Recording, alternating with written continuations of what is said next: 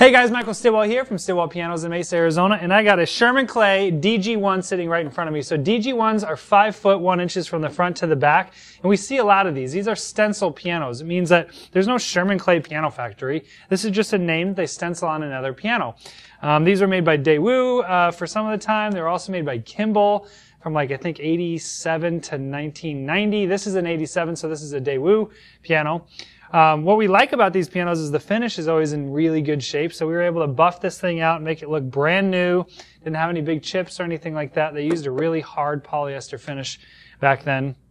Um, also, the down weight on the keys is really light. So this is a great piano for people that are just starting out and just don't want that kind of heavier feel.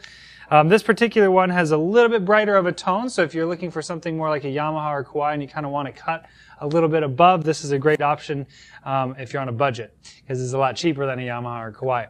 So I'm going to play this piano for you guys. If you guys have any questions about this particular piano or any other piano on our website, always feel free to shoot me an email at michael at stilwellpianos.com. And don't forget to smash that subscribe button for more awesome piano related videos. Thanks for watching, guys.